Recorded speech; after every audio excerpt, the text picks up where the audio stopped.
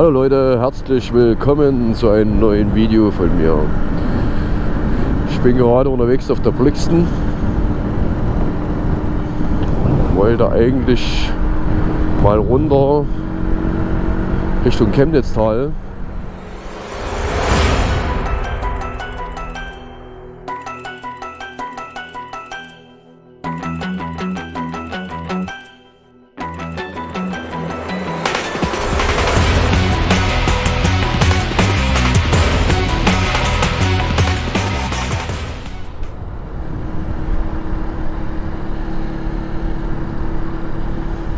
Ich habe jetzt auf der Brixton 4655 Kilometer runter. Ich bin immer noch sehr, sehr zufrieden. Außer dass mir eben mein Hinterteil schmerzt, weil einfach dieser Bobbersitz, ja, hm, ist wahrscheinlich für irgendwas anderes gedacht, aber also zum dauerhaften Sitzen ist es wohl da nichts. Muss mir da dringendst was einfallen lassen. Ich habe schon mal geguckt im Internet, habe es jetzt überhaupt nichts gefunden, was mir nur irgendwie gefallen würde, weil meistens sind sie schwarz, was natürlich überhaupt nicht passt. So, oder sie sind dann genau in der gleichen Form wie, wie mein Sitz jetzt, also so flach und nicht aufgepolstert, nichts. So, was dann auch wieder nicht so schön ist. Also so richtig habe ich leider noch nichts. So, jetzt machst du mal das Visier noch ein Stück zu. Was steht er hier rum? BMW. Ach, bestimmt Baden hier irgendwo. Ja. So. Abflug. Ich habe natürlich absolut noch gar keinen Plan, wie das neue Mikrofon jetzt so funktioniert. Ich habe ein Update gemacht. Ich bin mal gespannt, ob das was gebracht hat. Das wissen wir dann erst alles hinterher. Wie mache ich denn das ja am blödesten so hier? Ja, ich wollte, dass doch noch ein bisschen Luft vorne reinkommt. Habe ich gedacht, hier stehen die blau-weißen Wellen rum, die Streifenhörnchen, aber nö.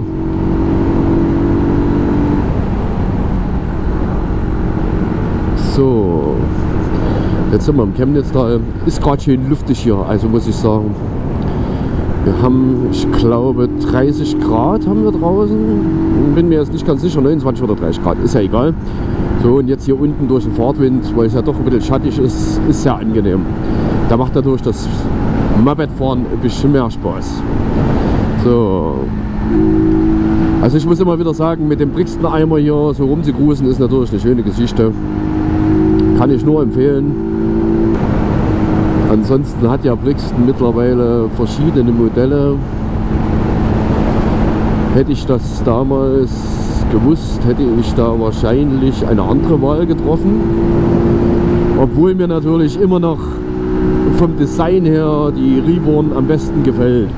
Es gibt ein paar Nachteile, muss ich leider so sagen. Wo ich sehr unzufrieden bin, sind die Stoßdämpfer hinten. Also das scheint dann wirklich chinesisches Produkt ohne Ende zu sein. Also die einen sagen, sie haben da gar keine Probleme. Und dann gibt es wieder mal eine ganze Reihe, die sagen, um Gottes Willen, die Stoßdämpfer schlagen nur durch. Ich bin derjenige oder einer derjenigen, wo sie durchschlagen. Was man dann natürlich hinten am Fender sieht. Und also ich habe da mittlerweile schon ein Stück Leder drüber gemacht, damit, wenn sie mal durchschlagen, dann eher das Leder dort äh, ähm, ein paar Schäden davon trägt, wie der Fender an sich.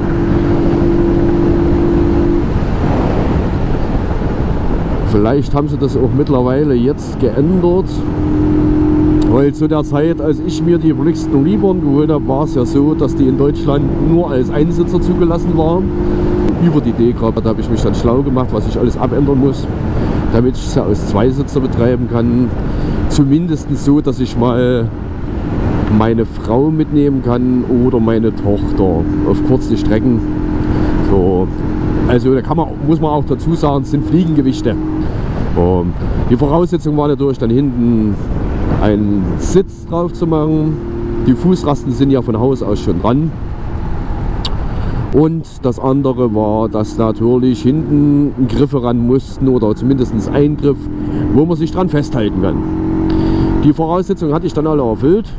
Das war auch dann nicht mehr das Problem. Und jetzt habe ich bei mir in den Papieren drin stehen, wahlweise Einsitzer oder Zweisitzer.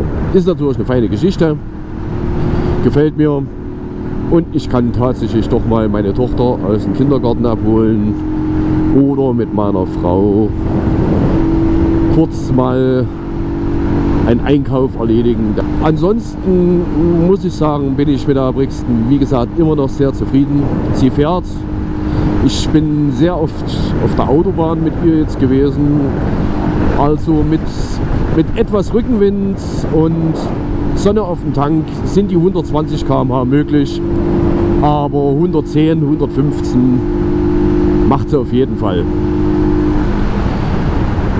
Was gibt es sonst noch so Schönes zu sagen? Ja, ab und zu muss man alle Schrauben bei der Brixton kontrollieren.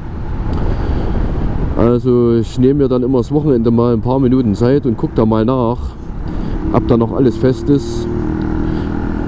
Ich hatte es jetzt erst wieder, da bin ich auch bloß ein Stück gefahren und siehe da, was war das Ende vom Lied? Es war natürlich so, dass ähm, der Krümmer der Krümmer war ab, was natürlich nicht sehr schön war. Ähm, da hat es vorne am Krümmer hat's eine Schraube gelöst. Ja, ansonsten, naja, ich habe von vielen gehört, dass sie da noch größere Probleme hatten mit Schrauben und so weiter. Bei den einen hatte sich wohl sogar die Schwinge hinten gelöst.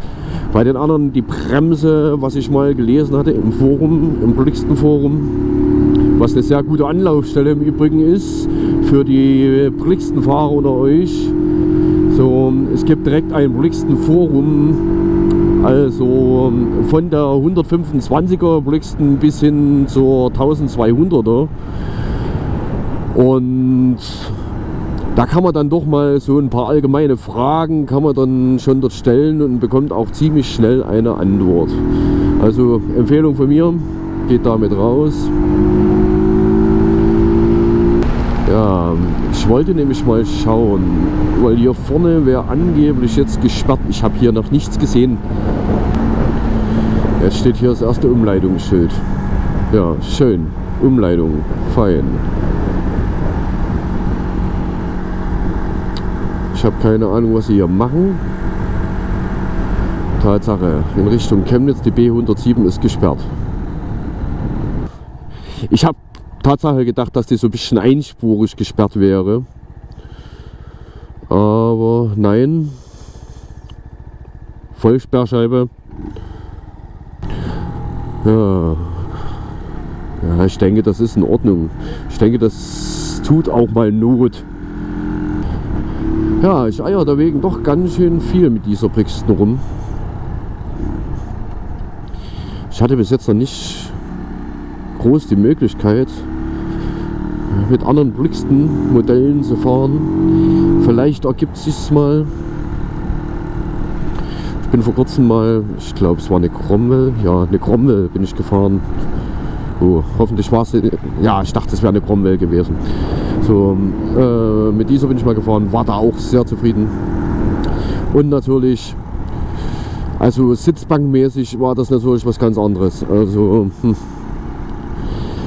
schätze mal, da sollten mal die Brixton Hersteller noch mal drüber nachdenken, ob sie vielleicht bei der Reborn einen etwas anderen Bobbersattel drauf machen. Bitte, bitte mehr Polster oder sowas, weil ähm, die Modelle, die Reborn, sind ja nun nicht für ähm, sehr, sehr korpulente Menschen gemacht. Das muss man einfach mal so sagen. Ähm, also sitzen dann, dann doch well, äh, Leute drauf, so bis, was weiß, äh, was weiß ich, so bis äh, 90, 100 Kilo, irgend sowas. Ne? Und ich wiege selber Ich war, war heute auf der Waage 86, ja, 86 wiege ich. So, da muss ich natürlich mal sagen, also ich mit meinen 86 Kilo bei 1,76 Größe, naja, mein Arsch ist dann doch etwas knorrig und das tut dann am Bobbersattel ganz schön zwicken. Nam, nam. Zum Klang her, ja, da gibt es nur 100.000 Videos. Äh, was, was? Was ist denn jetzt? Wollen die mich verarschen? Ist jetzt wohl nicht der Ernst, oder? Wir sind jetzt in der Umleitung. Wir sind in der Umleitung und hier ist jetzt eine Sackgasse oder was? Wollt ihr mich verscheißern? Gut. Wir müssen jetzt mal gucken, was hier vorne steht. Sonst drehe ich nämlich jetzt hier Tatsache um. Baustellenfahrzeuge frei. Also Leute, ihr habt echt einen an der Klatsche. Muss ich jetzt mal so sagen. Also wenn du hier mit dem LKW unterwegs bist und auf der B107 momentan, also und dann hier so ein Schild kommt äh, Richtung Wittchensdorf abbiegen, dann sollte man das sich als LKW-Fahrer sichtlich ersparen. Ich habe auch nichts hier vorne von einer zweiten Umleitung gesehen. Hä? Also ehrlich mal, nee, fällt mir jetzt gerade überhaupt nicht ein. Jetzt muss ich hier vorne, ich gehe jetzt hier vorne noch mal gucken. Komme hier ein bisschen veralbert vor.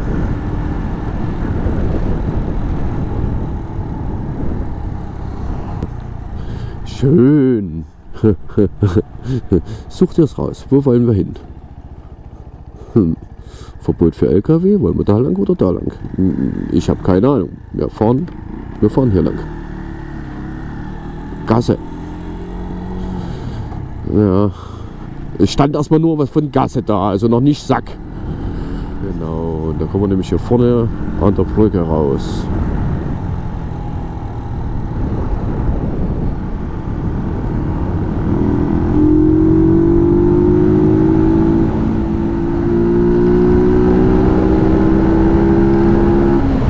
So, da habe ich euch jetzt mal ein Stückchen mitgenommen. Ein Stückchen die B107, ein bisschen was dazu erzählt und ein bisschen was über die Brixton erzählt. Wie gesagt, vielleicht ergibt sich irgendwann mal die Möglichkeit, dass ich ein paar andere Brixton-Modelle fahren kann. Das werden wir sehen. Aber im Moment bin ich sehr zufrieden mit dieser hier. Jetzt sind wir in Garnsdorf.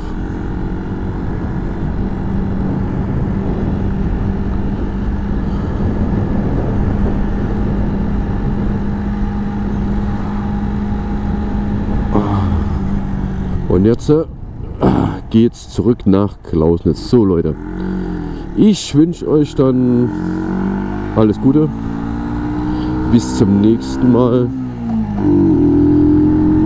Wie gesagt, das war mein kurzes Fazit zu meiner Brixton. Ich hoffe, es hat euch gefallen. Wenn ja, lasst einen Daumen da. Tja. Habt Spaß, Leute. Genießt das Wetter. Im Moment soll es ja noch so bleiben.